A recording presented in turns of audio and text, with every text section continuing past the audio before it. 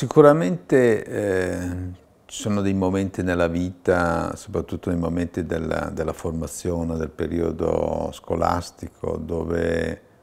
eh, uno cerca dei riferimenti, cerca del, dei linguaggi che, che, comunque lo influenzano nella, sua, nella, nella costruzione eh, di, una, di, una, sua espressione. Eh, io mi ricordo che sicuramente eh, negli anni 60, a metà degli anni 60, quando ho iniziato studi d'arte, eh, l'influenza della eh, della scuola americana, eh, da IMSS a Bertoia, cioè, era, dire, era, una grande influenza, è stata una grande influenza eh, sul processo produttivo, sul, sul, sul, sul, capire come il prodotto eh, veniva pensato e costruito. Mm, poi negli anni ci sono state altre influenze magari di, di, di, di altri, altri, designer italiani, da, da, Castiglione a Magistretti, e questo funziona fino a una certa età, cioè io credo che fino ai 40, 40 anni si, ha, si, hanno queste sorte di eh, influenze, poi inizia, inizia il tuo percorso, poi inizia la tua come dire, il tuo modo di essere per cui non, non, non, sei, non sei, più influenzato. Però c'è sempre la, come dire, a volte sei, quando magari vedi una vecchia immagine, magari di un prodotto fatto negli anni 50, che, che magari non avevi notato, e, e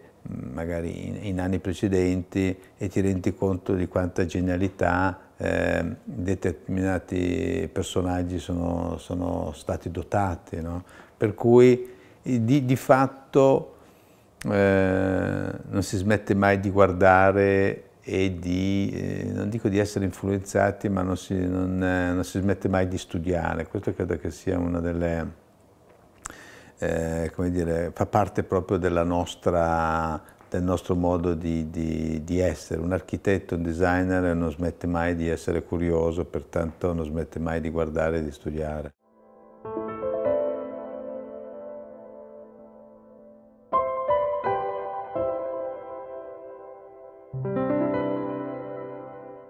C'è una sorta di sottovalutazione di, di questo termine. Noi, molte, molte, persone pensano che l'interior design sia eh, la scelta di, di, una tenda anziché di un tappeto. No, di fatto l'interior design, ad esempio sui nostri grandi progetti di architettura, è una parte integrante del progetto, cioè eh, molte volte è la, la, il progetto degli interni che influenza il progetto del volume stesso dell'edificio,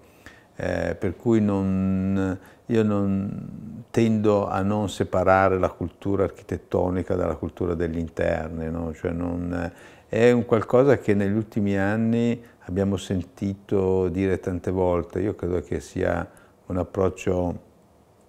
eh, culturalmente sbagliato pensare che esistono due mondi, un mondo degli interni e un mondo degli esterni.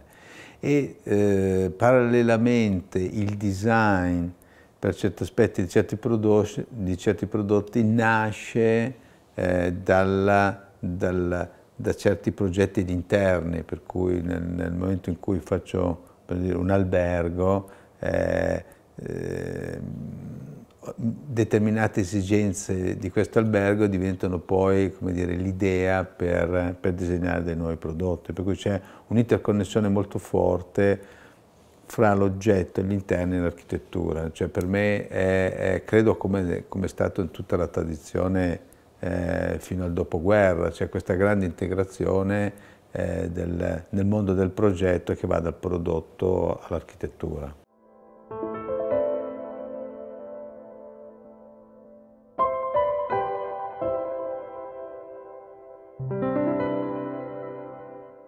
Io non so eh, quanto noi siamo influenzati o quanto noi influenziamo. Cioè nel senso, eh, le, le, persone che fanno il nostro lavoro sono delle persone, eh, credo, particolarmente sensibili a, quel, a quello che avviene, no? dal punto di vista, ad esempio, del, del lifestyle o, o, dal punto di vista della, della, percezione di cosa sta cambiando. Quello che dico è che molte volte siamo anche, come dire, arriviamo un attimo prima di altri nel, nel, nel capire eh, cosa succede. Eh, faccio un esempio, nel, nella metà degli anni Ottanta, quando io ho disegnato il City, eh, dove cambiavo la tipologia del divano, facevo questi divani profondi dove uno pensava al divano come un, un luogo dove per eh, mangiare, leggere, sdraiarsi, dormire, guardare la televisione, per cui uscivo dalla, dalla dimensione tradizionale del divano che erano un divano fatto da tre volte una poltrona, cioè quello è proprio eh, dire, una, una lettura di, di, di, di come, eh, come, il nostro eh, vivere quotidiano eh, si sta evolvendo.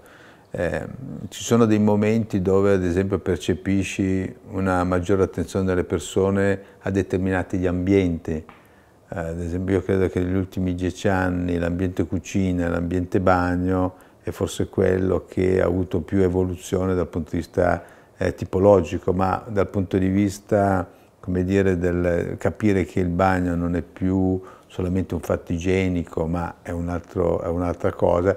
e capire che la cucina è un luogo dove ci si ritrova, dove eh, eh,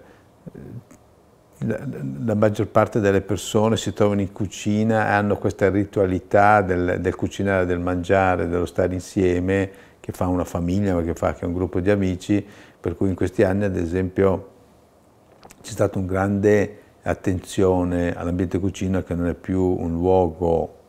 come si pensava magari negli, nella fine degli anni 60, la cucina doveva essere un luogo di preparazione del cibo sterile, il più assettico possibile, invece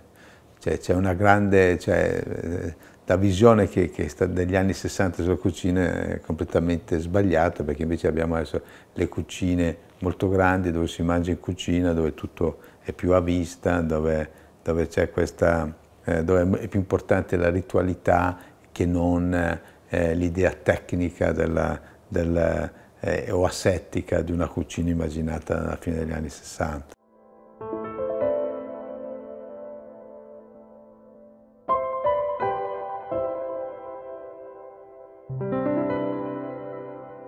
Ma io credo proprio la, la, la cucina, come, la cucina perché ad esempio è il luogo dove eh, io ho incontrato i miei figli eh, in questi anni, dove ho incontrato mia moglie, cioè adesso i miei figli,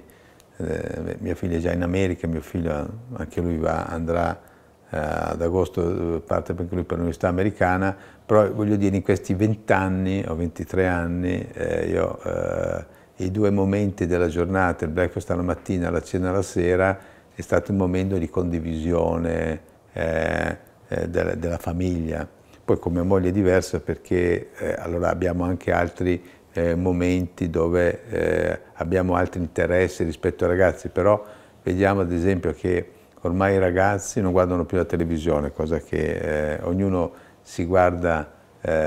sul proprio computer magari altre, altri film o altre cose, per cui, come dire, la, eh, se negli anni 90 uno poteva pensare che la televisione poteva essere il luogo dove condividere una parte del proprio tempo della giornata, in questo momento invece è, è rimasto dire, la ritualità del preparare e del, del mangiare insieme.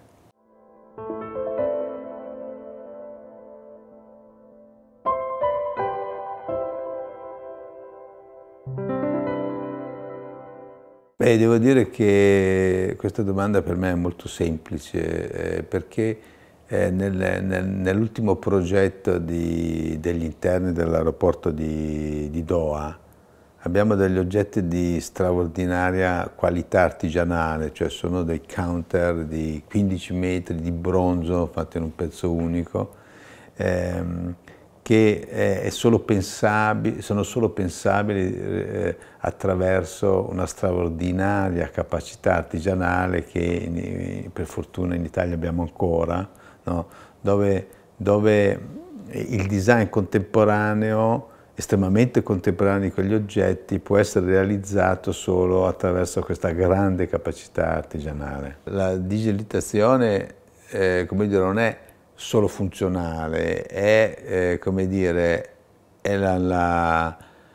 è, essere presenti o meno sul mercato, è come dire, cioè il nostro studio che eh, è uno dei pochi studi, credo in Italia, che lavora su, con questo programma di lavoro che si chiama BIM, eh, che eh, dire, è una forma di digitazione ancora più complessa perché non è, più solo un, non, è, non è un problema di disegno ma è un problema proprio di concetto di come si pensano le cose attraverso dei componenti e non più attraverso un disegno